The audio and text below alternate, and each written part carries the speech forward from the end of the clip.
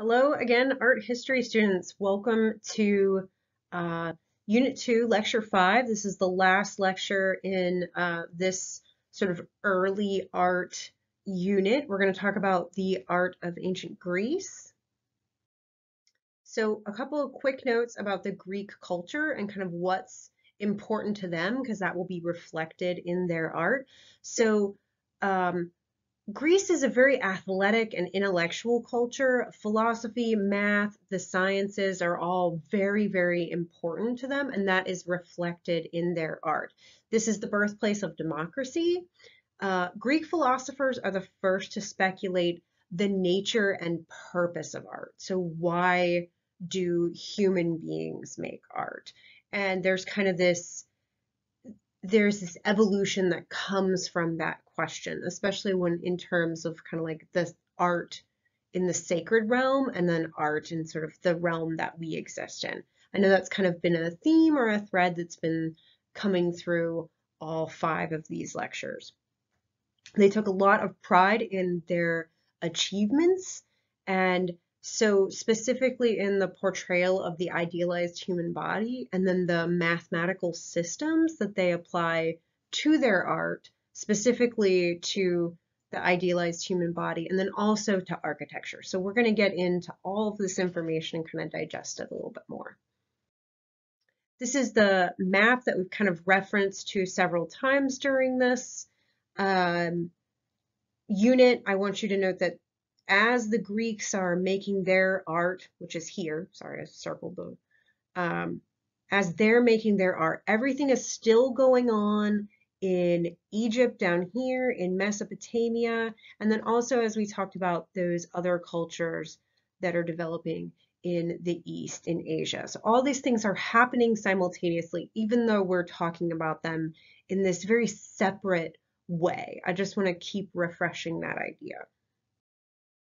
All right, so Greek art is broken down into three basic sections, and this differs from how we've talked about Mesopotamia and the Aegean cultures and all the other. I haven't really made you guys decipher the difference, but for the Greeks, I will. You need to know archaic, classical, and Hellenistic art and kind of what's changing for each of them. So you may want to, I don't know, make a note, take notes.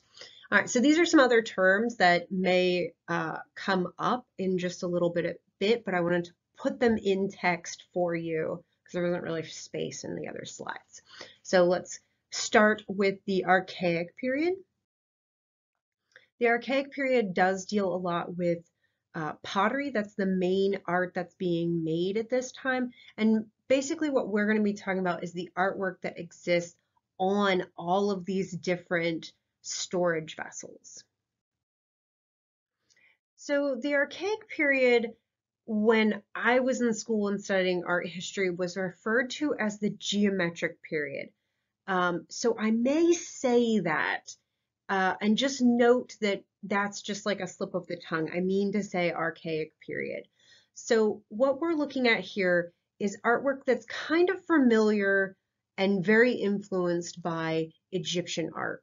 We kind of see this breakdown of space by the use of registers, right? Even in the patterning that's up here on the neck of um, this storage vessel, and kind of the use of twisted perspective is definitely there. We kind of see the feet and that that eye, that classic eyeball on the side of the head that's coming about. So very influenced by the art of ancient Egypt and a lot of things that are very familiar to us as far as terminology and whatnot. There would be use of hierarchical scale. All those kind of things are present in the archaic period.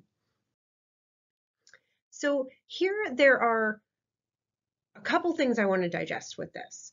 First off, so we see all those same kind of things, that use of, of registers and kind of the breaking down of space. So this um, jar, this amphora, is kind of bulbous. It's coming out into space, but there's this kind of like, they're trying to flatten it, right? And that's, again, that kind of influence from ancient Egypt is coming over.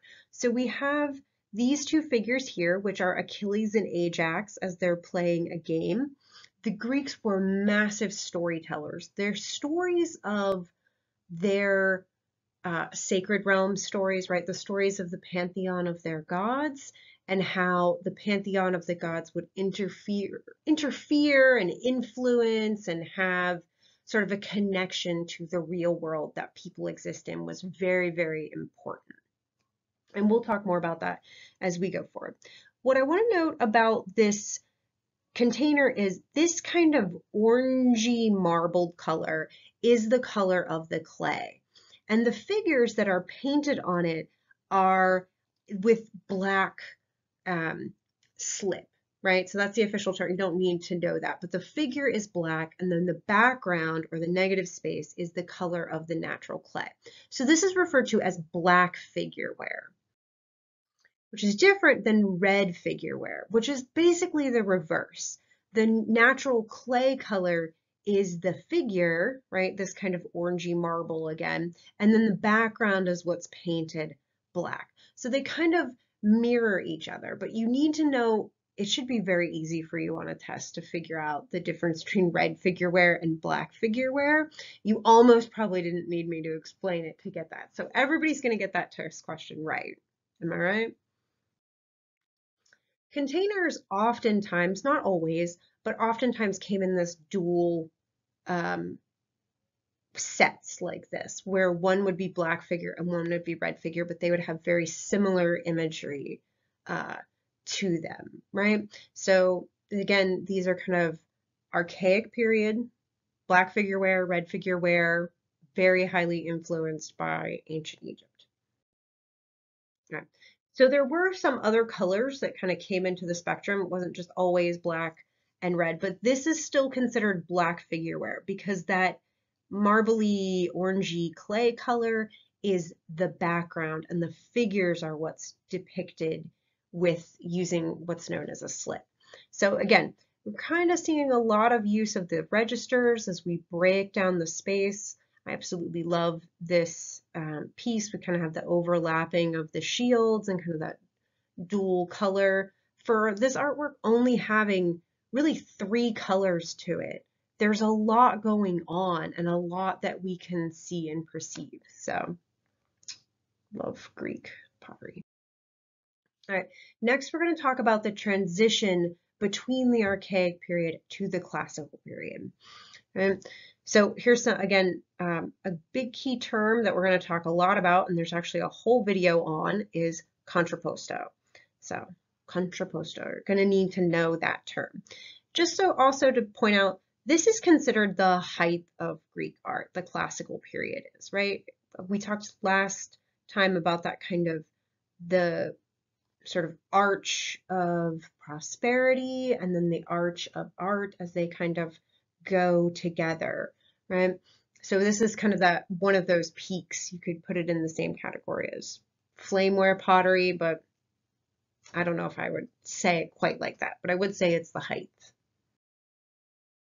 Okay, so we're talking about the stylistic changes between the archaic period and the classical period. So this is a typical archaic period. This is known as a kouros or a youth statue. Usually when a um, young boy would pass away, specifically in battle, that was kind of the the ultimate, I don't want to say the ultimate way to pass away, but there was like a, a high level of honor associated in passing away in battle. So a family would erect one of these kouros or youth statues um, in memoriam of their son who would have passed away. And sometimes there would be one statue that would be erected for a multitude of sons or um, I just want you to note that this is not specifically a depiction, right? This is not a like this not a representation of this specific boy. This is an idealized representation of the youth who would pass away in battle, right? This is kind of a I don't want to say it's like a sacred realm kind of thing, but to pass away in your youth, at the peak of your life, in the prime of your life, right? That's kind of what's being conveyed in these early statues. We see a lot of influence from ancient Egypt, right? If you remember back to the statue of the pharaoh Men Menkorma, Menkorman and his uh, queen um, Kamirbathi, right? They kind of have that same stance, that that shoulders square, the one foot just in front of the other foot, right? And this kind of slight movement, all of the weight is equally distributed on both legs. And then if you remember back to those images that we would have seen for the Aegean cultures, which are the pre-Greek culture, right? There's kind of this upside down triangle that represents the torso. So we're seeing everything that we have kind of talked about before being represented in this image, and then everything changes when we get to the classical moment, right? This body looks completely different than the other one. All of the weight is distributed on one leg. This other leg kind of just has the toes on the ground. There isn't all the weight of the body isn't placed on that. And then the shoulders have this, the shoulders are going kind of this way and the hips are going this way, right? Kind of elongated on one side and then kind of squished on the other, right? This has to do with the spine. This is the way that people actually stand. No one really stands with their weight equally distributed on each leg. It's just not how normal people stand. If you're standing for a long time with your friends talking or something, you're going to shift weight from one leg to the other. That's just the normal way that we stand. So there's this much more attention paid to the naturalization of the body and how the body is represented. All right, so there is an entire video linked maybe above or below this one, which is the impact of the contrapposto stance. And I want you guys to watch that video. It's going to go into much more detail about the contrapposto stance than I want to in this video. I want to try to keep them kind of short and then also going to give you guys a little bit of reference of what's to come and how this contrapposto stance is going to move forward into time. So there's a little bit of, I know, we'll call it foreshadowing, you know what I mean, of what's to come, but it just shows and really puts forward the impact of the contrapposto stance. So watch that. Another thing to point out is the influence of form in the round here at this time. Um, in almost all of the cultures and all of the art that we've seen before, with, with some exceptions, art has been kind of this, there's one side and then the other side, right? There's a side that you're supposed to see um, and a side that's supposed to be presented to you, right? That's one of the reasons why those bodies look so rigid as they stand and look forward, the ancient Egyptian sculptures. And even the sculpture of um, the one pharaoh with the god Horus, who's kind of has his wings over his head. He's seated in that image, but or in that sculpture, but you really could only kind of view it from three sides, right? The two profile sides and then the front facing view. Something that happens in Greek art is this explosion of form in the round. This image is dynamic and can be viewed from all sides. And you're supposed to walk around it and view it from all sides, taking in every little detail, right? As it's kind of sitting. So this is Aphrodite crouching at her bath. So I want you to kind of associate this with a three-dimensional view that you as the viewer make an entire cycle around it. So form in the round. All right, so next we're going to talk about material and we're going to talk about bronze.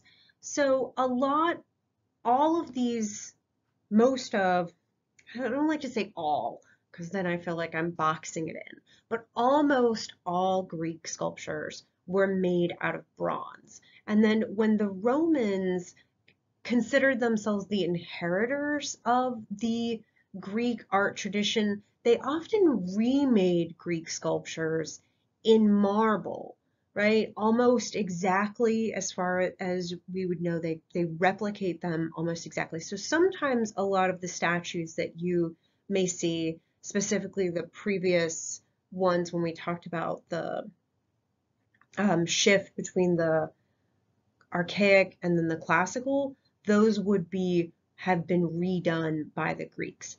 So, or redone by the Romans. Yeah. All right. So what we're talking about now is how art is made. And again, we're kind of talking about at what we would consider a peak time, right? A peak time of prosperity, a peak time of intellectual development, a peak time of culture, right? Culture and prosperity. So here we have this statue of the warrior, right? Of this warrior, and he is in a very idealized human form. He has that contrapposto stance, right? Where his weight is mainly on one of his legs. He's very idealized. He has ivory inlaid into his eyes. But what I want to really focus on is how this sculpture was made. It was made through a process called lost wax bronze casting, right? It's a very long, complicated process. And if you're thinking to yourself, why are you telling, going to be telling us all of these stages of this? It's to show how much work really went into these. So what they started off with was kind of this wooden, rough wooden body. And then they would add a layer of clay and maybe like sawdust to it to pack around the body. Then the entire form was coated in a thick layer of beeswax. And that beeswax would be what they would carve all those individual fingernails and toenails. Uh, this sculpture has this beautiful beard and hair, all of those little teeny tiny intricate details would have been made in this wax layer. Then the whole thing is coated in plaster. All right, so there's plaster put around the entire thing.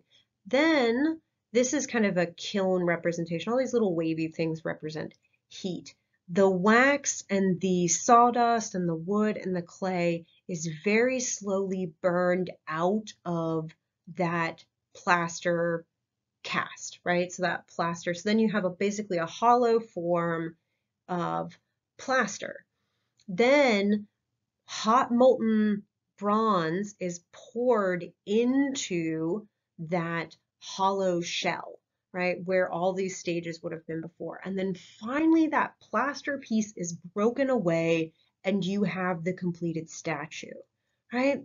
This is complicated to say the least. But it's important, I want you to put that into context of how much energy and effort was being put into the making of this art. These were the first people to say or to wonder is art important and what is its purpose in life and what is its relationship to human beings. They pondered this intellectually and then obviously they felt that it was incredibly important to put this much energy and effort and resources and technology and thought of how to even do such a thing. It is worth noting that this process is also the process that would have been mm, was invented, I guess, to make a lot of weapons. So it wasn't like this process was developed for art, but it was really perfected for art. I will say it that way. So this is another lost wax bronze cast statue, and this is a representation of Poseidon. It could be Zeus, and I always try to make sure that, uh, you know, there's full kind of honesty in the information that I'm putting forward. So this may be Zeus. I think the likelihood is that it's Poseidon.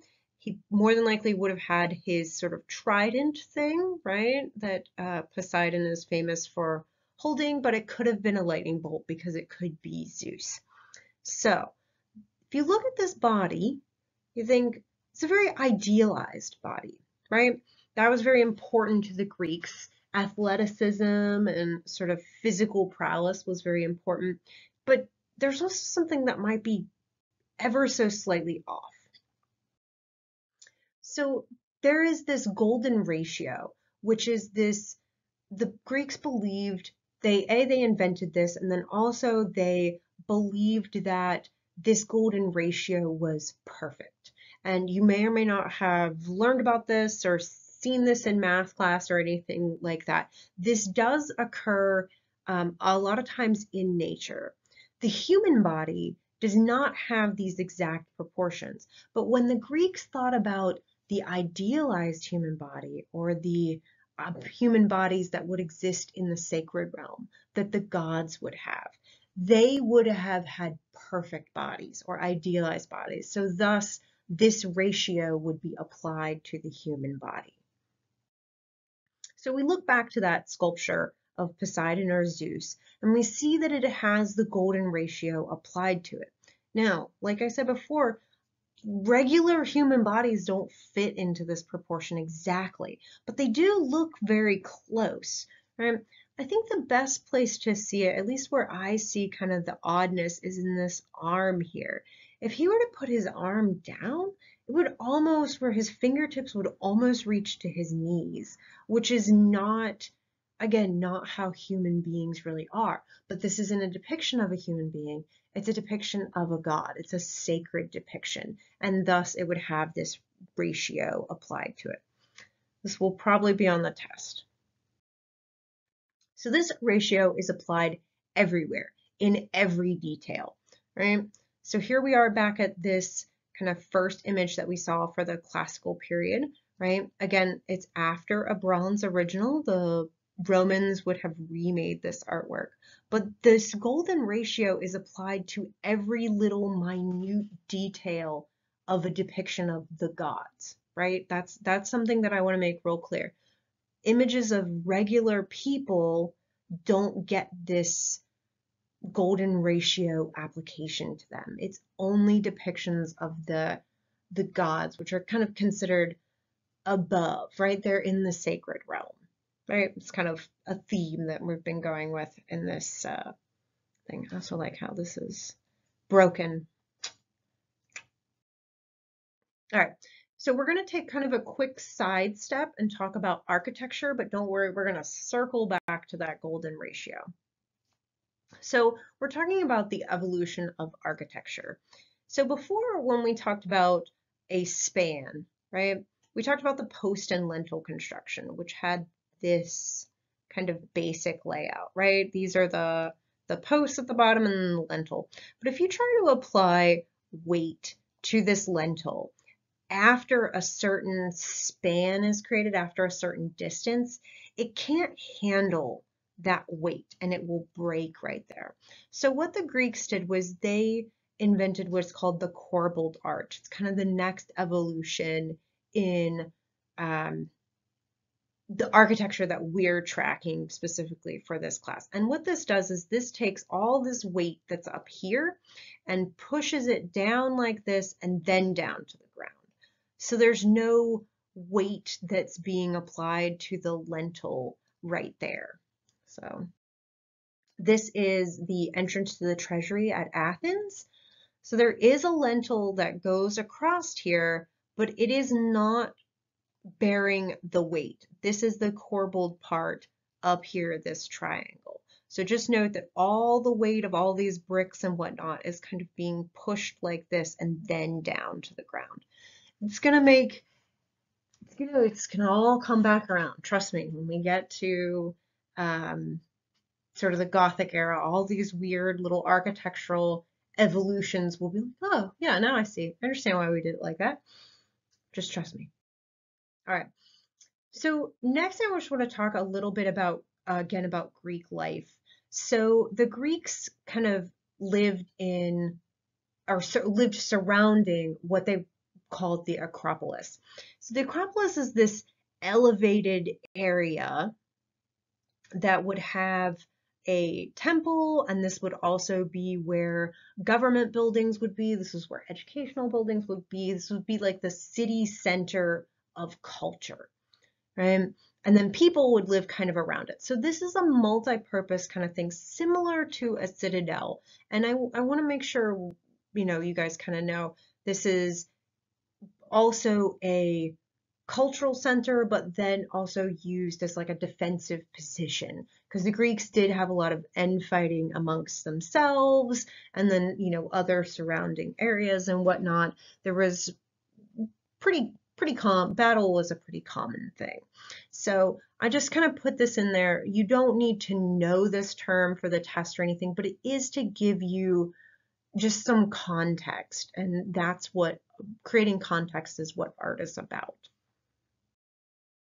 All right, so the Greeks were polytheistic. I know you guys know that word, and you're probably familiar from with some of the Greek gods and some of the stories just from general popular culture. Maybe you've talked about them in some other classes or something. We're not going to dive too deep into a lot of the stories, but storytelling and this oral tradition of the gods, who the gods are, and what the gods are like is central to the art of of of the ancient Greeks, right? It's central to life for them. Okay, so next we are going to talk about, and we kind of touched on this last time uh, when we talked about the ancient Egyptians. I told you guys about the capitals, right? So this is the temple to Athena Nike, right? And it has these um, pillars, these columns in front of it, and then the top of them is decorated in this very specific way, which is called ionic. So let's go to the next slide. There are four, or there are three different capital orders, right, for the ancient Greeks. So get your pens out because you're going to want to take notes at this moment. And I am going to tell you how I remembered these as a student. It uh, might be kind of silly, but I promise you, you will not forget it. And then when you go out into the real world and you go to the library or to the, you know, some kind of government building or something like that, and you see columns with these capitals, you're going to see them everywhere. I never knew that these were, but they're everywhere. They're on libraries and all kinds of stuff. So we're going to kind of tell the difference between those now. So the first is Doric. It's sort of believed to be the first that kind of evolved chronologically. So Doric is a rectangle, and this is how I remembered it in school, and you can laugh if you want to. But a like 19 kind of 50s term for a nerd or a dork was a square. That's what uh, they used to, to call dorks I guess, was squares. So that's how I remember Doric is the rectangle by the square. Ionic, right? Ions kind of swirl. They got protons and neutrons or something, and they kind of move in this spiral shape. So there's kind of two of them coming together. So that's ionic. And then Corinthian, the actual reason for this term is this capital order was developed in a place called Corinth so that's why it's called Corinthian. But it's very floral. It has these leaves and maybe some kind of like flower bud or something coming off the top of it. And I think Corinthian, doesn't that sound like a flower that your grandma would grow in her garden or, or your mom or yourself? You know, it's it sounds like a flower. So that's how I remembered the difference between Doric, Ionic, and Corinthian you, everybody is different. Your brain is different. If you want to come up with your own system, go for it. Um, I'd love if you shared your system um, with your classmates or with myself. So these will be on the test. You will need to identify each of these. So prepare yourself. All right. This is the Parthenon. So the last temple that we talked about was the temple to Athena Nike, and that was a temple to one specific god. The Parthenon is a large uh, temple that is devoted to all of the gods in Athens. And Akintos and Chiliocrates, I want to say those names. Those are the architects who developed this building. And just like in depictions of the gods, that golden ratio was applied to kind of communicate that this was a god and that they were perfect, or this was a deity from the sacred realm and they were perfect. The golden ratio is also going to be applied to this building, right? They applied it to everything they created that specifically deals with the gods, right? So this is how the golden ratio is applied to this building. There's this nice little graphic for that. So it's all the way from these tiny little sections all the way up to just the larger size in general of the building. And even though you can kind of see that it's in ruin there or kind of falling into disarray, there when it was created it would have been lavishly painted and decorated and we're going to get into that now so there's quite a bit of vocabulary that I'm throwing at you guys in this lecture. So I want to make sure I point out what's important and what's not. So this is this building has a Doric order, right? The um, Parthenon is a Doric order. This section here, which I'm going to draw on this, is the frieze, right? So all of this little section here I don't want to say little, it's kind of a large section, is what's known as a frieze. And a frieze is basically a, um, a horizontal kind of span of decoration. And it's broken up into these different sections, which are called metopes. We're going to see some of those in a moment. And then this obtuse triangle is called the cornice. We're going to see that in a moment too.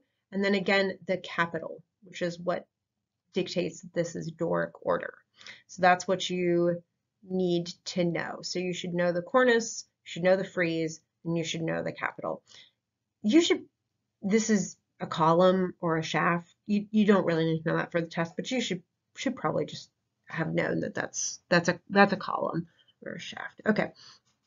And then metope. So let's move on and kind of explore the metopes.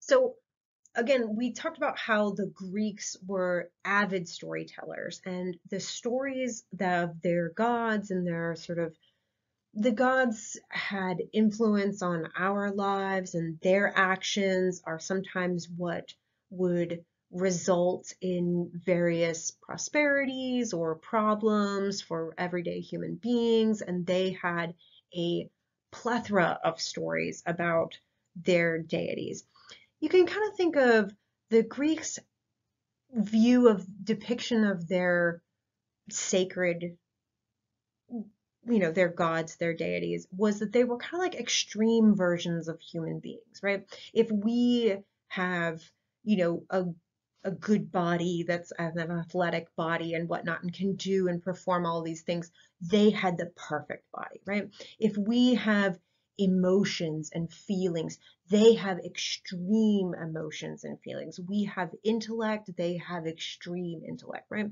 Very extreme versions of human beings, an over exaggeration of the human, um, the being a human being, which is part of the reason why their stories and their traditions have kind of permeated all throughout history. Like I said at the beginning, you're probably more familiar with Greek stories than you might be with ancient Egyptian stories of their gods and deities, right?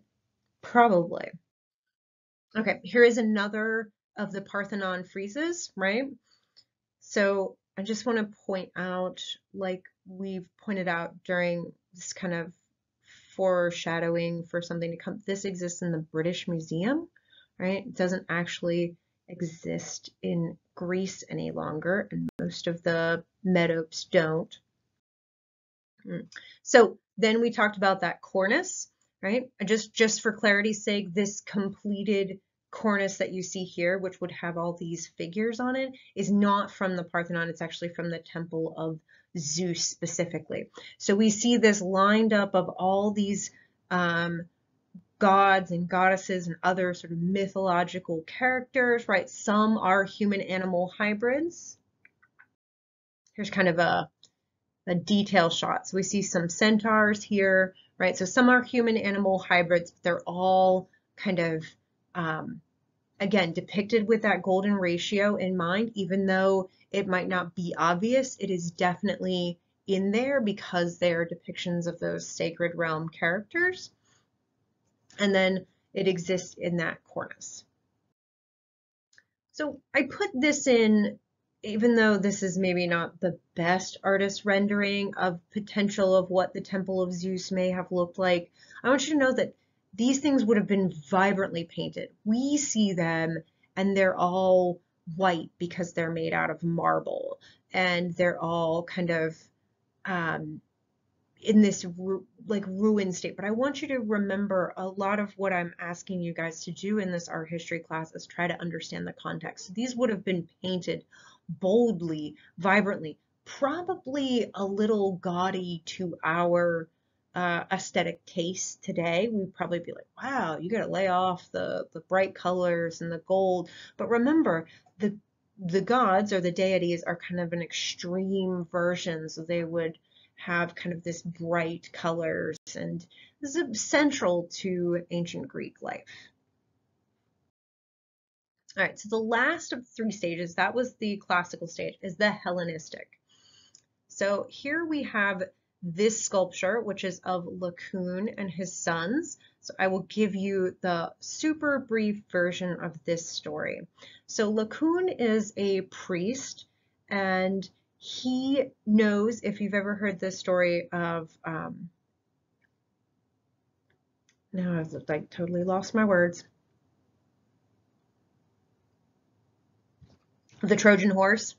There we go. So the story of the Trojan horse is where the Greeks make this giant fake uh, horse and present it as a gift to their rival. And secretly they're hidden inside of it. Um, and then when everybody goes to sleep at night, they all crawl out of the giant Trojan horse and slaughter everyone. So it's kind of like this very deceptive story. So Laocoon and is a priest and he is aware of this plot and he doesn't feel that this, he feels it's, it's very deceptive and dishonorable. So he wants to go and warn um, the rival army. So he takes his sons, but the gods intervene and it's in multiple different versions of the story. In one version, it's Poseidon, and then in another version, it's a different uh, goddess who decides to intervene. But either way, the gods intervene and they send all of these um, kind of like serpents. Uh, they're not just snakes, they're sea serpents that are incredibly powerful to rip apart Laocoon and his sons and stop them from warning the rival army of this kind of deceptive situation. So what we're seeing here is this, this sculpture has an exaggerated pose, right? It has this theatrical quality. It's very, very over the top, right? This man is a muscular man, but it is like every muscle in his body is bulging at the same time, right? This emphasis of the drama. This is the most dramatic part of that story that's being depicted. The part where the sea creatures or serpents tear his body apart is very, very dramatic, right? So the Hellenistic period emphasizes that drama, right? That over exaggeration of form, over exaggeration of the story, right? Just the whole idea of drama is front and center, especially look at his face, right? The, the, the just the horror and the terror that's being depicted on that face. It's, it's crying out with every single one of its muscles. So this artwork will definitely come back. We will see this artwork um, a couple times in this class, believe it or not, even as we go through history. So also note that this is a copy of the bronze original. So this would have been made in that super complicated lost wax bronze casting process that we would have that we talked about a little bit earlier in the lecture and then was remade by the Romans in marble. This is another Hellenistic artwork. This is uh, Winged Victory Nike. This would have been presented on a stone boat is what this kind of kind of like if you see I don't know like a pirate movie there's always kind of like a, a figure of a woman at the bow of a ship or something that's where this would have been but it was not a real ship it was like a symbolic stone ship so there's sort of this flight that's taken. We can kind of see all of the action and drama again. Even though this body is not in motion, it's stone, it's static, there's a significant amount of motion and action, especially if all those layers of fabric kind of move around the legs of the figure, the winged victory Nike, right? She's not in flight, but we get the sensation that she is just from looking at this sculpture. All right, last but not least is the boxer at rest. So this is from the Hellenistic period also. So this is not a depiction of a deity. This is a depiction of a regular man. And one of the reasons that I spent so much time talking about the lost wax bronze casting process is to make you or help you understand the real importance of the body and of physicality and of athleticism to the Greeks. And this sculpture does that above all. So here we see this boxer, he's kind of down, he's looking up, he looks tired, look how his hands are kind of resting on his body. He looks like he's kind of breathing heavy, right? He's obviously in great physical shape and whatnot. But if we look at his face, we can see that his face is kind of torn up like he's been battered and bruised, right? The Greeks were the ones who invented um, the Olympics, right? So again, I can't stress this enough. Athletic prowess was incredibly important to the Greeks. And then also what we see here is this depiction here of an open wound. So this is copper. Just so you guys know, bronze is a alloy of copper and tin. So pure copper is a little bit more of an orangey kind of red color. So during the process where they would have made this the, the uh, beeswax layer, right? If you remember just from a couple minutes ago where there's this whole layer of the sculpture that's beeswax and then they um, because that's where they do all these little details of all these little hairs in the face and whatnot. They would have set in copper pieces or at least carved out an area where this copper piece would then be inset into there. And that copper represents the, the blood coming out, right? This is an incredibly minute detail to put in, but I think it really pushes forward how important physicality was, the being human was to the ancient Greeks, right?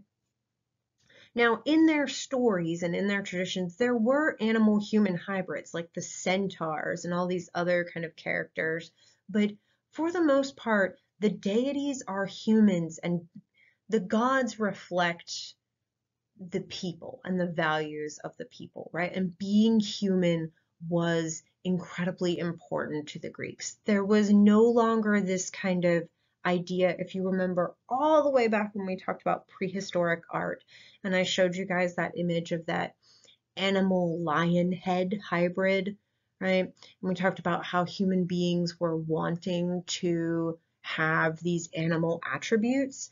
That is completely shifted, right? Human beings are definitely at the top. We're at the top intellectually at the top physically, right? The gods are reflections of human beings. So being human, being depicted in art was incredibly, incredibly important. I know that, that this lecture kind of gets a little bit philosophical by comparison to some of the others, but I think it's it's really important, especially as we go forward. All right, so these are the key terms it got really dark in here. So you guys, there's a test on unit um, two that you need to uh, take and pay attention to those dates and then also your discussion for this week. Email me if you have any questions. Thank you.